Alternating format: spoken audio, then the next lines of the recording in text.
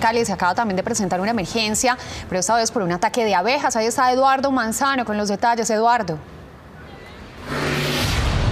Alejandra, muy buenas tardes. El ataque de abejas se presentó en eh, un eh, colegio, una institución educativa conocida como Cristóbal Colón, la sede Antonia Santos.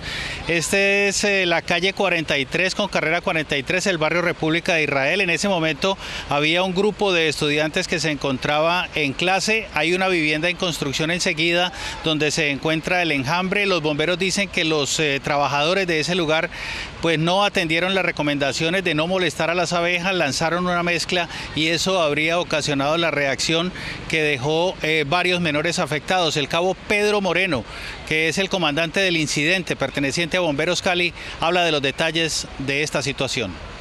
A un lado del colegio se encontraba una colmena de abejas, se les hizo las recomendaciones del caso a los propietarios del inmueble y estos hicieron caso omiso a la situación. Ellas al sentirse agredidas, lo que hicieron fue responderle